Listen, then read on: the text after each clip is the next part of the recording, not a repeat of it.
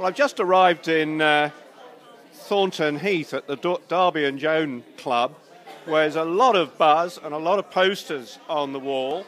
And uh, I've just met uh, Guy and also Cormac, who I know, and we're here to uh, talk about asset based community development because they've actually been doing it here. Guy, tell me a little bit about, the, uh, about what's been going on. Well, we're, we're trying to make uh, connect people together, people who have skills to people who need those skills, and um, it's, it's be, become a very successful program. We've got boards up up here, as you will see, with people who've got pledges of what they want to do for their community in their community, and um, we're hoping to spread the message wider and wider because it looks like this is the model that um, that, that is the future.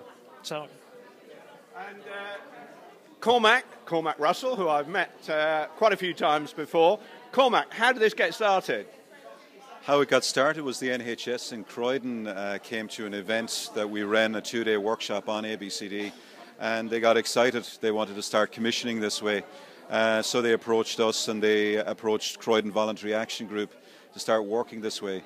And then CVA, Croydon Voluntary Action Group, connected with 20 connectors. Guy is one of those connectors, and uh, just began to support them to do what they've been doing probably all their lives, which is connecting with people and uh, just uh, mobilizing people into productive action, into connections and relationships.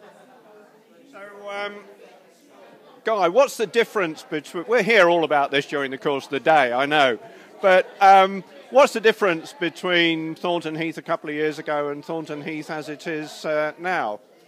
Well, there's a much greater community spirit going on.